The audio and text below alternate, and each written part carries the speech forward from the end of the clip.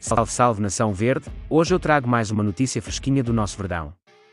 Maior campeão do Brasil, o Palmeiras está vivo na briga para conquistar mais um título do Campeonato Brasileiro Série atual bicampeão da Comembol Libertadores. O time comandado pelo técnico Abel Ferreira conquistou tudo que pôde nos últimos anos e agora briga por uma conquista que falta para essa geração, desde a chegada do português.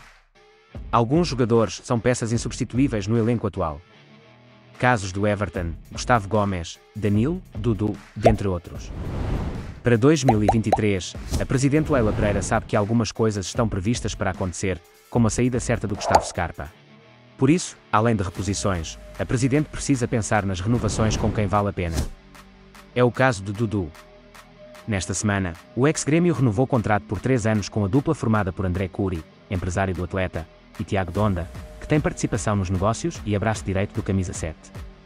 Inicialmente, o jornalista Danilo Lavieri, do OL Sport, trouxe a informação sobre a reunião que aconteceu com o atleta junto aos agentes. Esta manobra pode ser favorável a Leila e companhia para conversas acerca da extensão contratual. A dupla conversa diretamente com Anderson Barros, diretor de futebol do Palmeiras, sobre um acordo de renovação. Tanto o clube quanto o jogador dizem que a renovação caminha sem pressa que as diferenças das propostas que existem na mesa atualmente serão sanadas, apesar de o papo já existir desde o primeiro semestre, destacou um trecho da publicação.